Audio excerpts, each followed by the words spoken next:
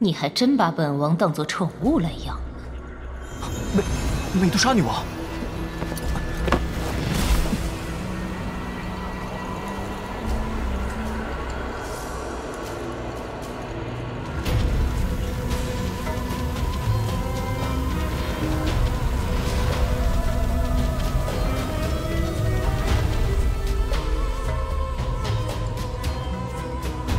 女王陛下，真巧啊，又见面了。是挺巧的，不过还是得感谢你。若不是你让吞天蟒与血魔天元战斗，消耗了不少力量，我倒还会被他压制住。该死，居然把这点给忘了。炼制融灵丹的药材，你可凑齐了？呃，女王陛下，融灵丹的药材颇为难寻。呃，是否可以再宽限些时日？看来你并未将此事放在心中。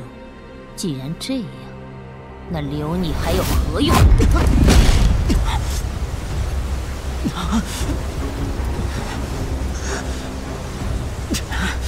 女王陛下，有事好商量。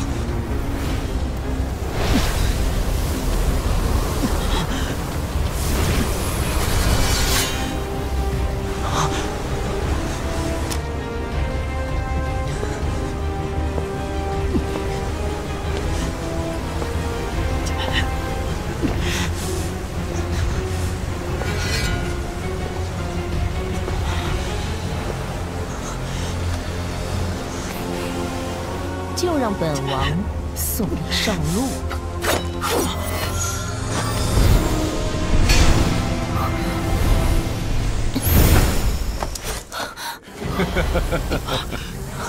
我药尘的弟子，岂是你想杀就杀的？啊，老师，早就感应到这家伙身边有个强者隐匿，原来是个灵魂体。彼此彼此，我也清楚你现在的情况。虽然我只是灵魂状，若真要斗起来，恐怕你也捡不了便宜。哼，是吗？我并不想与你有何冲突，只是我的弟子，我护定了。哼，你若嫌待在他身边憋屈，大可直接离去，无人阻你。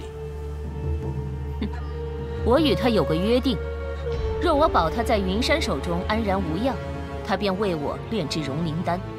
可如今他却将约定忘得一干二净，这等不守信之人，留之何用？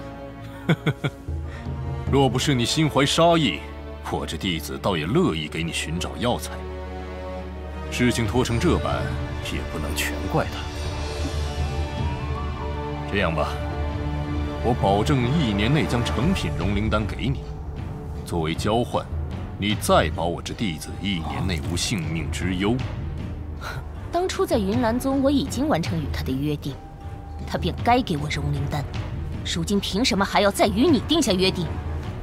那次的约定双方都有违反，自然是不作数。想让我给他做一年时间的护卫，休想！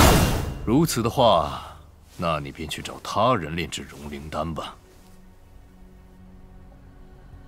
那将融灵丹的药方给我。这药方是萧炎千辛万苦得来，如何能给你？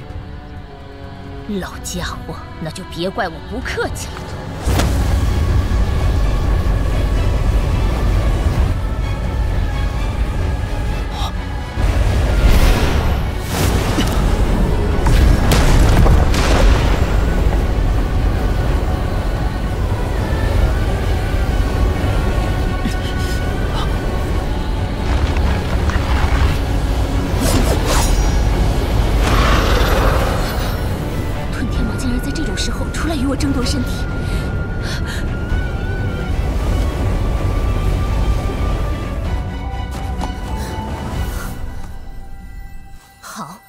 就依你，一年之内给我融灵丹，我就保他一年。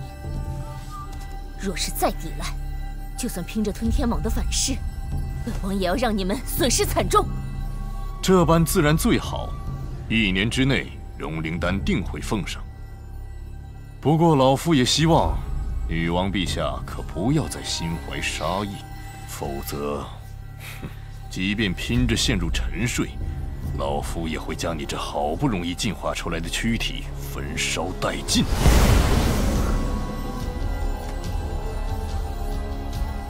只要你们别违约，本王自会遵守诺言。